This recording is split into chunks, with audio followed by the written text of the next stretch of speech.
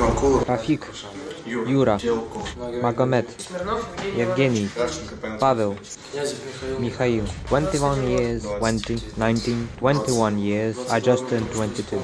I am from Dagestan, Nizhny Novgorod, incomprehensible, Russian army private, private. We arrived here for drills.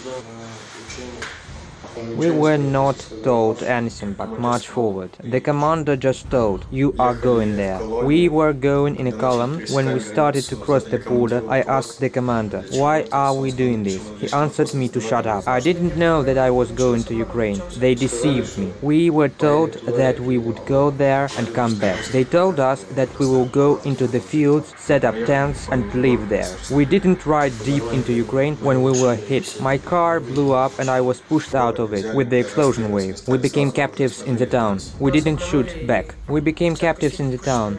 We didn't shoot back. We laid our weapons at once. We were deceived and sent to war like cannon fodder. I didn't think that I will have to kill someone. I knew nothing. I was afraid. We are being sent to war like cannon fodder. Everyone gets shot at once. We were going in a column and almost everyone in it dies. I didn't want to fight. I wanted to live. I will say that Ukrainian military are nice guys. They did not hit me and gave me food. For what? Everywhere here live peaceful people and no one wants war. I was operated and now I feel better. No one abused me. We have food. No one beats or abuses us. We surely did the same that the Nazis did.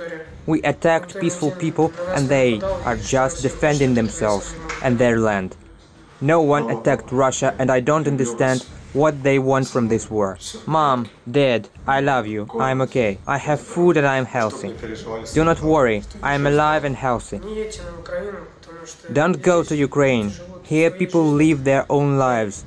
Its army is protecting their country, their families and children from the Russian army. And you prevent them from life.